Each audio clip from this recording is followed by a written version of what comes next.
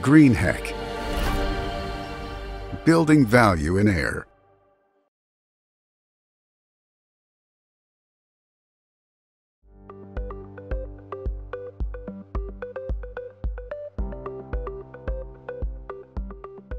Welcome back to the shop. We have another Vari-Green control today, the constant pressure controller or the constant CFM control.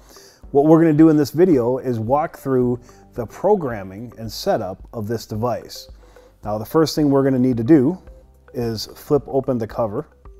In our last video, we covered how to wire this, so I recommend you go back and look at that.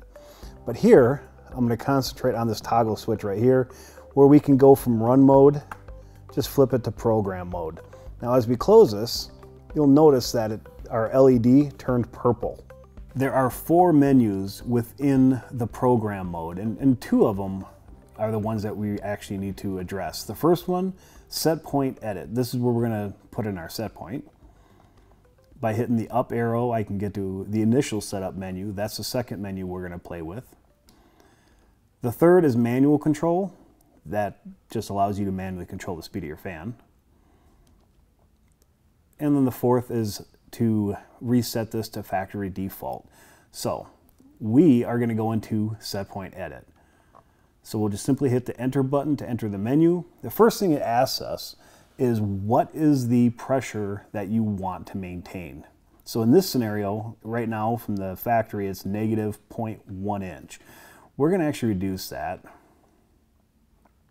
to negative 0.06.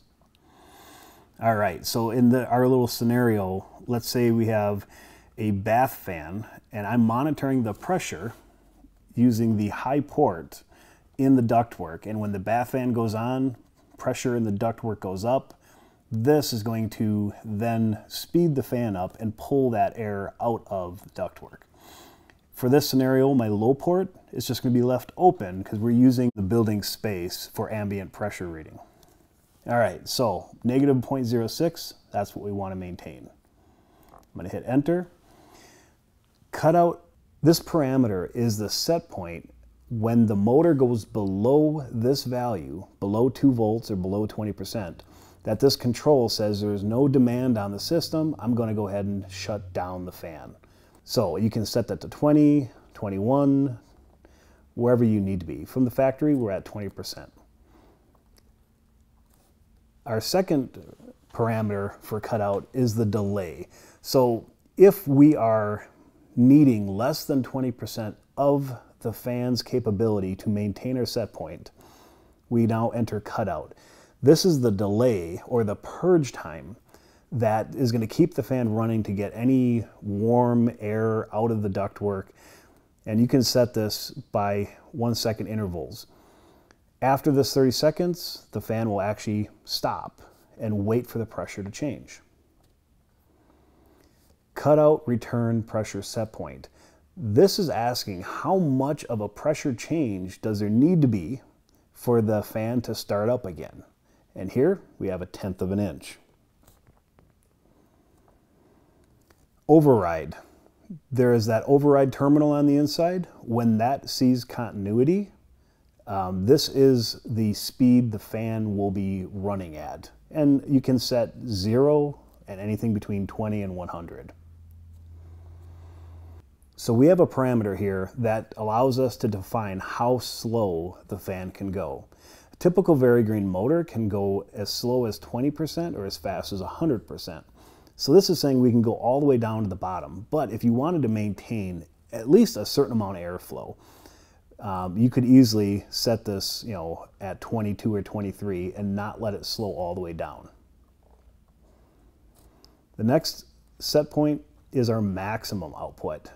So the, we're basically def defining the range the fan can operate in to maintain your set points, your pressure set points. Um, the minimum, we can go from 20%, and this is up to 100%. Now you might want to like reduce this if you didn't want to move air that fast. You, you wanted it to control the pressure, but you wanted to take a little bit out of the speed of the air. So you're going to reduce that top end speed the fan has capable, that fan is capable of using. digital output set point.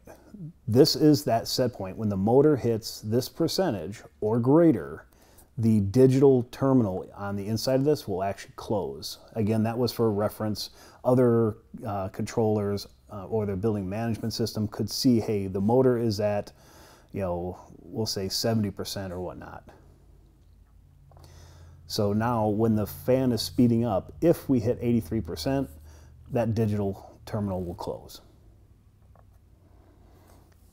The last screen for this menu is just a saving set points. You'll see the Greenheck, and then it goes back into the menus. So that is set point edit.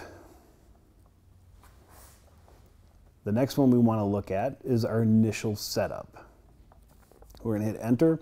First thing it asks us is what is the unit of measure you want to play with, either imperial or metric. We'll leave it on imperial for right now.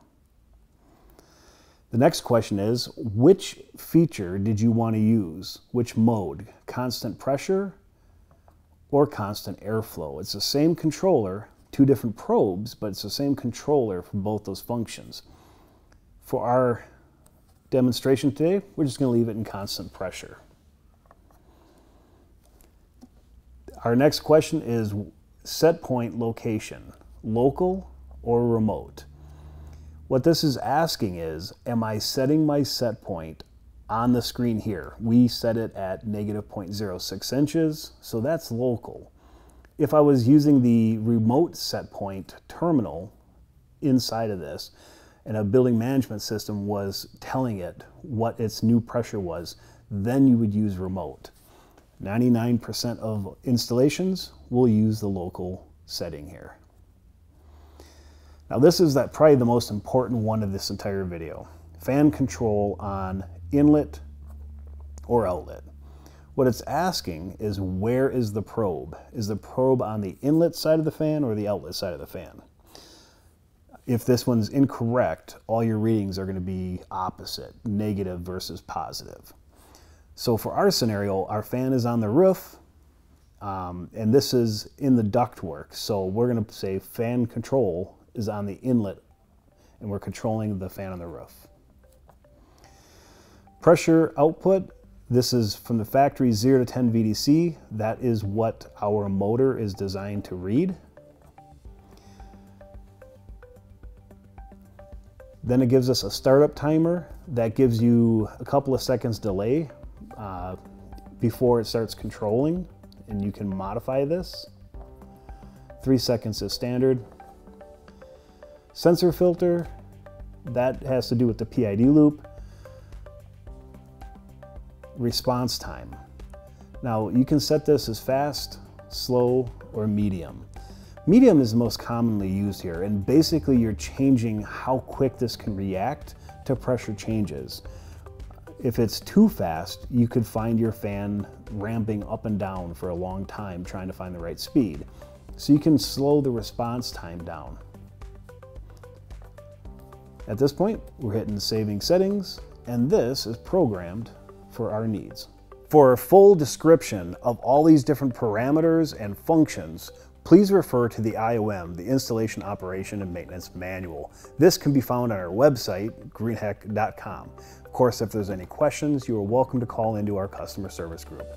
Have yourself a great day.